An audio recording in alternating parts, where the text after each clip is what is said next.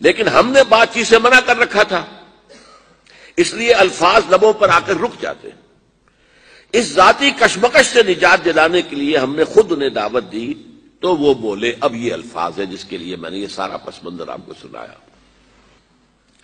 تم جانتے ہو جب مجھے یہ احساس ہوتا ہے کہ پاکستان بن چکا ہے تو میری روح کو کس قدر اطمینان ہوتا ہے۔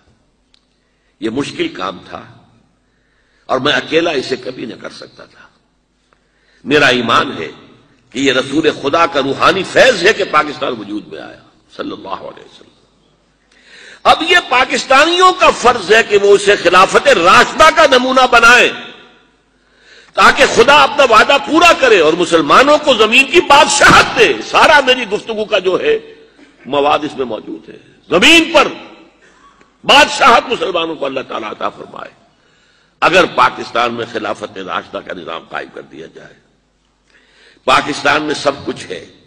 اس کی پہاڑیوں، ریگستانوں اور میدانوں میں نباتات بھی ہیں اور معدنیات بھی۔ انہیں تسخیر کرنا پاکستانی قوم کا فرض ہے۔ قوم نیک نیتی دیانت داری اچھے اعمال اور نظم و ضبط سے بنتی ہیں اور اخلاقی برائیوں منافقت زر پرستی اور خود پسندی سے تباہ ہو جاتی یہ وہ ہے کہ جو ڈاکٹر ریاض علی شاہ کی ڈائری سے یہ اقتباس روزنامہ جنگ نے شائع کیا ہے گیارہ ستمبر انیس سو اٹھاسی کو۔ گیارہ ستمبر انیس سو اڑتالیس کو قائد اعظم کا انتقال ہوا۔ تو گویا کہ چالیسویں برسی پر قائد اعظم کی چالیسویں برسی گیارہ ستمبر سن اٹھاسی کو جو خاص کو ایشو شائع ہوا ہوگا، اس میں یہ واقعہ شائع کیا گیا۔ جو پھر ہم نے وہاں سے لے کر ندائے خلافت کے کور پر شائع کیا تھا، سرور۔ پر یہ تھا مقصد اس پاکستان کا۔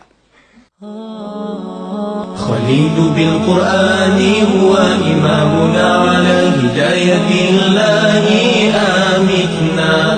كلام ربنا هدايتنا. عطاء جبريل على رسولنا.